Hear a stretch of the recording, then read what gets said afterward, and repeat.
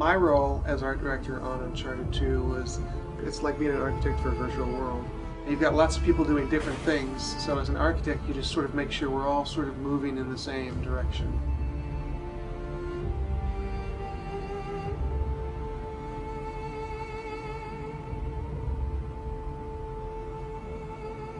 I think some of the challenges of working on Uncharted 2 are just keeping that bar raised.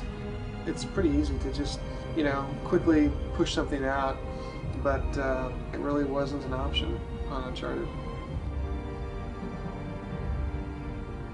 Concept art is sort of the first front. First thing we start doing is quickly sketching. Just rough ideas, you know, shapes, tone, and then as soon as we can, we start going into the 3D process. And for me, that's where SketchUp is completely useful because it's so fast. So right away, I can start making real design choices that actually we can implement them in the game because I'm really thinking about how tall is the ceiling, how many pillars are there, how thick are those pillars, can you hide behind those pillars.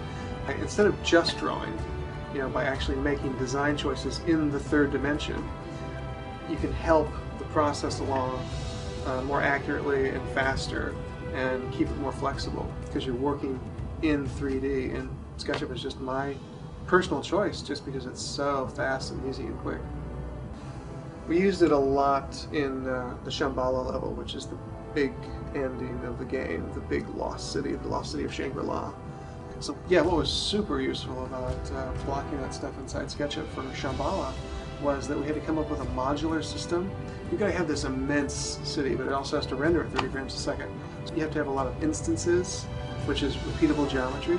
So came up with kind of like a simple modular system that you could have half a dozen pieces, but if you arranged them uh, in the right way, you wouldn't notice that it was you know so few pieces. You just think, oh, look at this amazing city. So being able to work out that shape language inside SketchUp was super useful.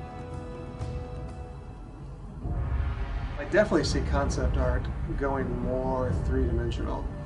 Drawings only get you so far. You know, you can do a really sexy drawing, but the real design comes in working out the design in the third dimension, whether it's films or games. And so, again, SketchUp, fast, easy, quick. Um, it's a great, great design tool.